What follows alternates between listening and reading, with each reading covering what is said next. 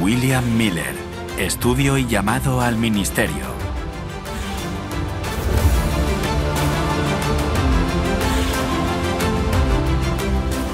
William estaba cautivo de Jesús y se dispuso a leer de nuevo su Biblia.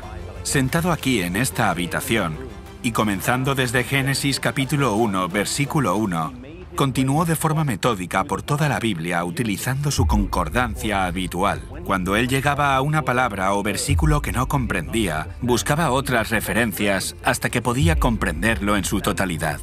Llegó a Daniel 8:14 hasta 2300 tardes y mañanas. Luego, el santuario será purificado. No comprendió esto.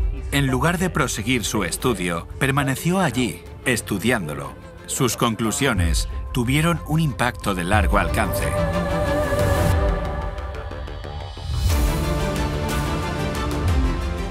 El elemento que motivaba a William en su vida no era el simple conocimiento, sino el amor por Jesús, un amor profundo y una fuerza que le motivaba a la acción. Mientras continuaba su estudio de Daniel 8, llegó a la conclusión de que Jesús volvería a la tierra en aproximadamente 25 años. Al estudiarlo y volverlo a estudiar en 1818, concluyó que Jesús regresaría sobre el año 1843.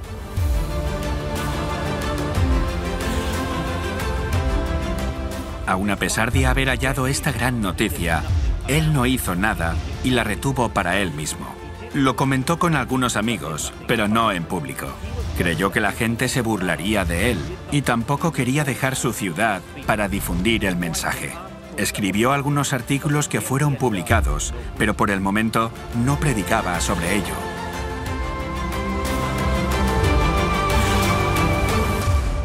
William luchó con el llamado a predicar por espacio de 13 años, escuchando en su cabeza una y otra vez las palabras Ve y dile al mundo. Finalmente, un día, hizo una oración de compromiso con Dios, prometiendo que si él era invitado a predicar, acudiría. Pensó que era una forma segura de proceder, ya que nadie iba a pedir a un granjero de 50 años que predicara sobre la segunda venida de Cristo.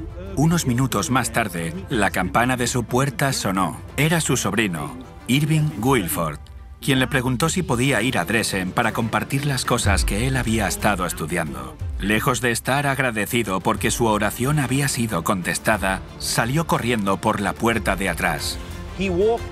Salió de su casa y vino a este arce, caminando de un lado a otro. Su hija Lucy le siguió y después de observarle por un tiempo, regresó a casa diciendo, Mamá, algo le pasa a papá. Claramente no estaba bien, porque ahora sabía lo que debía hacer y no veía cómo escapar de eso. Dios había actuado. No había otra explicación. Su sobrino vivía a media hora de camino. Él había dejado su casa justo antes de que Miller hubiera terminado su oración de pacto con Dios de forma que pudo ver claramente que Dios había intervenido. Después de aceptar la invitación a predicar, Miller viajó mucho durante los siguientes 10 años por todo el norte de la costa este de Estados Unidos. Llevaba con él su esquema de las profecías y la Biblia. El reavivamiento no pertenecía a una denominación religiosa en particular. Aunque Miller era baptista, se estima que más de 40.000 personas pertenecían a la Iglesia Baptista y más de 40.000 a la Iglesia Metodista. No pasó mucho tiempo hasta que conoció a Joshua Hims, que hizo que su influencia se extendiera de la palabra hablada a la palabra escrita.